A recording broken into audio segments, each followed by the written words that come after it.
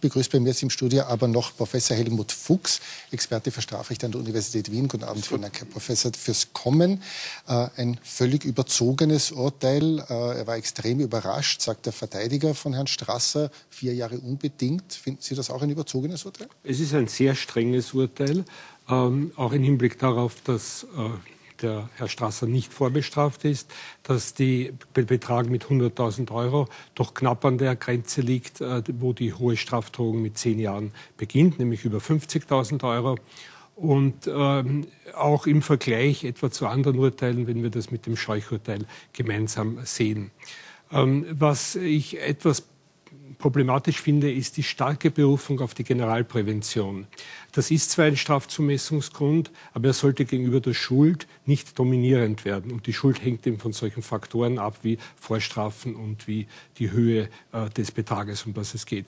Wobei überhaupt gar kein Betrag geflossen ist, sondern dass er nur fließen sollte. Die ganz grundsätzliche Frage bei der Schuld war ja mal überhaupt, äh, ob äh, Herr Stasi überhaupt ein sogenanntes Amtsgeschäft vorgenommen hat. Das war die Voraussetzung überhaupt für die Bestechlichkeit.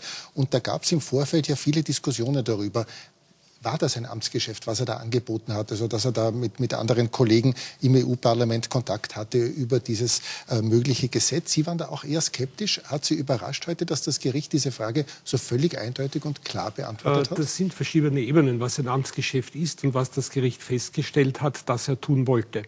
Wie ich den Meldungen entnehme, hat das Gericht gesagt, festgestellt, wir sind überzeugt davon, er wollte Abänderungsanträge stellen im Ausschuss oder im Plenum und das ist sicher ein Amtsgeschäft. Äh, entscheidend für den Tatbestand ist die Verbindung zwischen der Forderung des Geldes, also dass er Geld fordert, für ein bestimmtes Amtsgeschäft, für das Stellen von Abänderungsanträgen. Äh, es wird jetzt darauf ankommen, wie das Gericht diese Feststellungen begründen kann, wie es das ableiten kann aus den Zeugenaussagen, aus den Unterlagen. Und daran wird sich auch die äh, Anfechtbarkeit des Urteils messen. Ist es eigentlich realistisch erwartbar, dass es in der zweiten Instanz ganz anders gesehen wird oder einen Freispruch gibt und dass der oberste Gerichtshof sagt, gibt kein Amtsgeschäft? Es ist sicher anders die Situation als im Fall Scheuch, weil äh, der oberste Gerichtshof direkt zuständig ist und damit die Beweiswürdigung als solche und die Tatsachenfeststellungen des Gerichts nicht angefochten werden können, sondern nur die Begründung. Der oberste Gerichtshof prüft die Plausibilität der Begründung. Und das hängt jetzt sehr von der Ausfertigung, vom Inhalt des Urteils ab.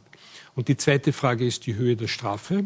Ja, da kann sich durchaus noch einiges ändern, denn da ist das Rechtsmittelgericht frei in der Neubemessung der Strafe. Also es kann seine eigene Überzeugung an die Stelle des Ersturteils setzen. Äh, wäre ein Freispruch auch denkbar? Ich denke nicht unmittelbar durch den obersten Gerichtshof, aber möglich ist eine Aufhebung und eine Zurückverweisung, wenn die Urteilsbegründung nicht schlüssig ist. Äh, jetzt gibt es diese Urteile gegen den Herrn Strasser heute, gegen Uwe Scheuch, Sie haben schon erwähnt, in den letzten Monaten auch gegen Bernbacher und Martins. Es gibt Anklagen gegen Kurt Scheuch, gegen Gernot Rumpold, gegen Alfons Mensdorf-Boyer. Es gibt noch viele Ermittlungen äh, gegen Politiker. Haben Sie den Eindruck, dass die Justiz in politischen Verfahren jetzt anders, vielleicht strenger agiert als in der Vergangenheit? Es kann sein, dass ein größeres Bewusstsein besteht, aber äh, Straftaten wurden immer verfolgt. Ähm, es hat sich wohl am meisten geändert durch die Wirtschafts- und Korruptionsstaatsanwaltschaft, die jetzt eine spezialisierte Behörde ist. Da müsste man noch einiges tun in der Ausstattung dieser Behörde, insbesondere für die Wirtschaftsdelikte, die noch äh, laufen und die rascher untersucht werden sollten. Aber ja, das Bewusstsein hat sich geändert. Man muss äh, wahrscheinlich auch etwas darauf achten, dass nicht aus einem früheren prominenten Bonus ein prominenten Malus wird.